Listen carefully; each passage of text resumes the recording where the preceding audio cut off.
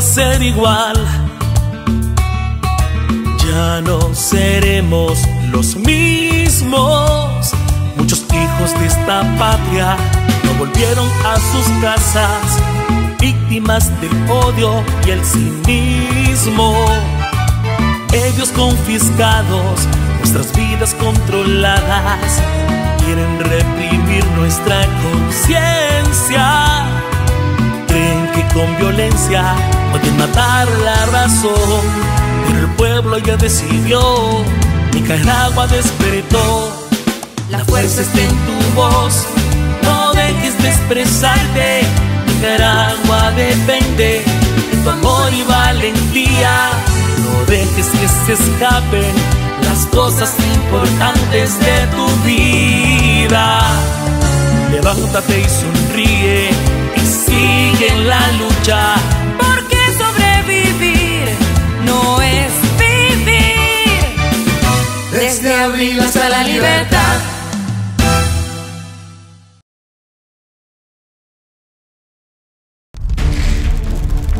Somos el medio de comunicación de mayor referencia en el occidente de Nicaragua. Informate en Radio Darío en los 89.3 FM en nuestro sitio web y las redes sociales. Radio Darío renace de las cenizas, innova y se transforma en el contexto histórico por la libertad de prensa y expresión en Nicaragua. Las noticias más importantes de la vida social, política y económica están aquí. Hacemos la cobertura más completa desde el lugar de los hechos para llevarle a usted las noticias más importantes del acontecer nicaragüense. Informate en www.radiodarío893.com y síguenos en Facebook, YouTube, Twitter e Instagram.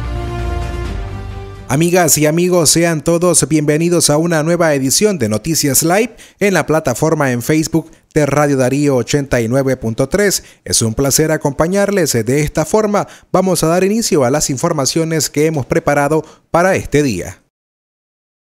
Mariela Pérez es una joven nicaragüense que desde hace cinco años migró hacia España con el deseo de mejorar las condiciones económicas de su familia y poder construir su propia casa. En estos últimos diez días, Mariela ha vivido los momentos más difíciles en ese país. Ella nos cuenta que a pesar de que en España se hablaba de la presencia del coronavirus, no se tomaron medidas de prevención desde el inicio y fue en su trabajo donde inició a presentar los síntomas relacionados al coronavirus. Fue el domingo 15 cuando yo me empecé a sentir un poco con, mareos. Eh, eh, empecé a sentir, tenía fiebre de 40 en el trabajo y empecé a tomar este, tos seca y me faltaba la respiración. Entonces yo me fui al centro de salud más cercano, el segundo, el tercer día con fiebre, cuarto día con fiebre, sin que nadie viniera, sin que no podía acercarme a nadie. Seguí llamando al número ese y no me atendió nadie. ¿Por qué? Porque hay muchos muertos. Eh, si yo me iba al centro de esa, este, si yo me iba al hospital de emergencia, hay muchos muertos ahí, muchos tan enfermos. Y resulta que si yo me iba ahí, tengo las defensas bajas y podía contagiarme el doble de lo que estaba y de allí sí me podía causar la muerte. Entonces, sin más nada, me quedé en casa aguantando todo eso, solo recibiendo llamadas cada dos minutos de mi familia para ver si, tú sabes, ya cuando uno está en otro país, la familia está un poco preocupada, Mariela lamenta que en Nicaragua no se estén tomando las medidas de prevención y protección adecuadas. Fue ese exceso de confianza lo que para ella afectó a los países que ahora enfrentan un alto número de contagios y personas fallecidas.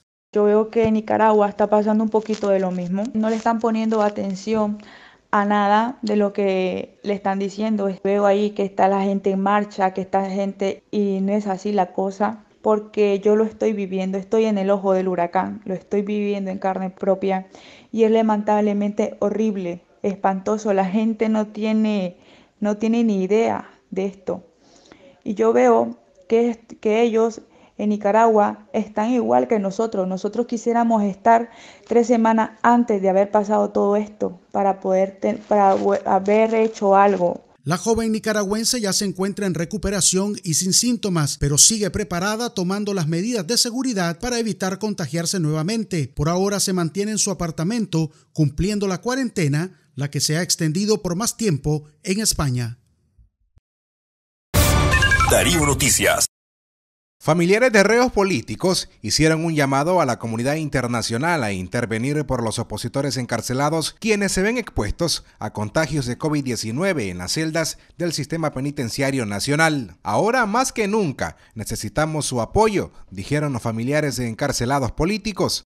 Se le pide a la comunidad internacional y a diáspora a que no nos abandone. Ahora más que nunca necesitamos de su apoyo ante esta pandemia, ya que esto lo hace más vulnerable a nuestros presos políticos. Libertad total para los más de 70 presos políticos. En Nicaragua, de acuerdo a organizaciones defensoras de derechos humanos, existen al menos 70 personas opositoras encarceladas por el gobierno. Ante esta pandemia se encuentran más vulnerables, aseguran sus familiares. Exigimos a la pareja presidencial Daniel Ortega y Rosario Murillo a la, liberación inmediata de todos los secuestrados políticos. De igual manera, le pedimos a la Alianza Cívica, UNAC, movimientos políticos, a la coalición, a la comunidad universitaria, movimientos campesinos y movimientos de escarcelados y exiliados, y en especial al señor Nuncio Estanislao Valdemar a que se pronuncie en pro de la liberación de todos los presos políticos. Darío Noticias.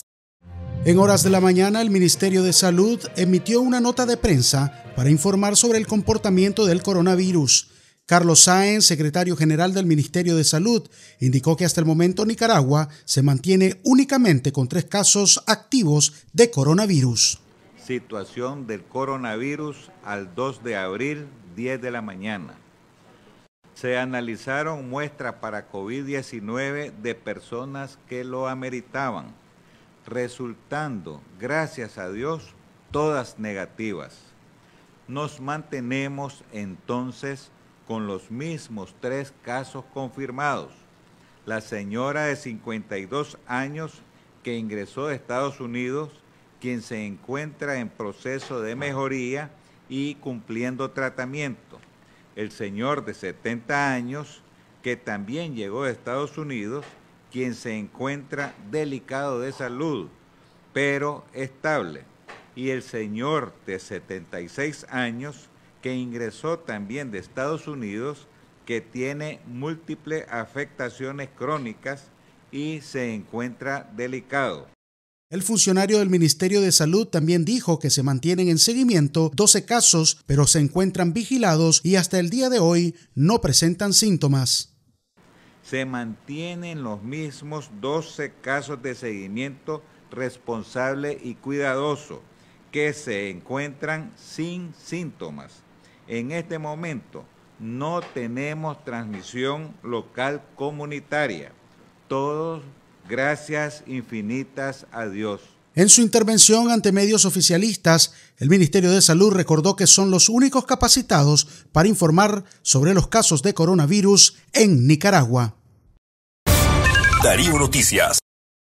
El monitoreo regional del Sistema de Integración Centroamericana sobre la pandemia del COVID-19 reporta que hasta ayer miércoles 38 personas han logrado superar el virus. En Costa Rica, cuatro personas han sido dadas de altas tras superar los síntomas de la pandemia. Esa noticia para el presidente Carlos Alvarado es una esperanza. Entre Guatemala, Panamá y República Dominicana, países miembros del SICA, suman 30 personas que fueron dadas de alta y que ahora pueden contar la experiencia de haber sobrevivido al coronavirus. Este mismo reporte sobre el COVID-19 en Centroamérica y República Dominicana registra 13.235 personas que han sido contagiadas. De ellos, 105 han fallecido. Panamá es el país más afectado. Darío Noticias. Un estado de las cosas desolador En Guayaquil, la epidemia de coronavirus avanza a un ritmo tan veloz que ni las funerarias ni las autoridades dan abasto para disponer de los cadáveres. Los seres queridos muertos de muchas personas deben permanecer en sus casas a la espera de recibir sepultura. En caso personal mío puedo decir que falleció la suegra de mi hijo el día de ayer 4 de la mañana y ella todavía no ha sido recogida. Ellos se encargaron de comprar el ataúd, la tienen a la señora en la casa, en la parte de abajo, en el dormitorio de ella. Ya han pasado hoy a las 4 de la mañana, fueron 24 horas y todavía la señora está ahí. Con más de 2.700 infectados, Ecuador se encuentra solo por detrás de Brasil y de Chile en la región. Para algunos pobladores de Guayaquil, observar tan de cerca la muerte solo alimenta la desesperanza y el enojo. Yo ese día que estuve, yo 18 muertos, yo los conté 18 muertos como lo llevaban a los pobres en camilla, en camilla parecían saco de papas, parecía que llevaban esos muertos y sé que no hay muchos muertos. Los han tirado a los muertos atrás, acá afuera, sufriendo los familiares, que escaseces, permitiendo que no paguen, que esto y el otro. Lo que el gobierno dice que aquí les ayuda, que esto y el otro, no es nada, todo es mentira. La alcaldesa de Guayaquil, que se encuentra en cuarentena, asegura que intenta dar pronta respuesta a la situación. Sin embargo, para los deudos sigue siendo insuficiente. El día de hoy llegó el primero de los cuatro contenedores grandes refrigerados para poder depositar ahí los cuerpos de las personas que perdieron la vida dentro de los hospitales o que también perdieron la vida en sus hogares. El primero ya fue colocado en el hospital de Montesinaí y los otros tres que llegarán esta semana serán colocados en los hospitales que el ministro de Salud así nos diga. Hasta el 1 de abril, Ecuador registraba 93 fallecidos por el COVID-19, más de la mitad de ellos en el área metropolitana de Guayaquil, que concentra casi el 25% de la población del país.